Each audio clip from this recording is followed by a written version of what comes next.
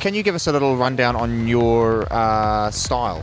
Uh, well, I, I, play a lot of different styles, and I end up with about 10 sets for every party, already pre prepared. So, you've got a radio show. Which station are you on, and where can we tune in?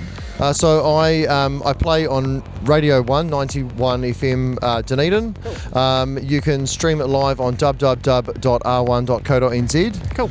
Um, or if you live in Dunedin, you can just stream it on 91 FM.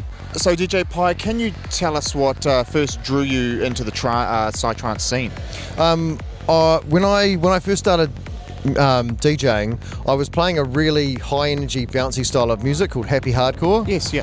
And when that fell away, uh, I was kind of left with no outlet for like high energy stuff, and I really enjoy that that kind of music. Cool. Um, and then psychedelic trance was introduced to me, and it was just a natural fit. Really, it was cool. like it was great. It was awesome. Well, thanks DJ Pie for coming on Push Play Music TV. Joel, thank you very much, and I'll see you all next year at Dimension.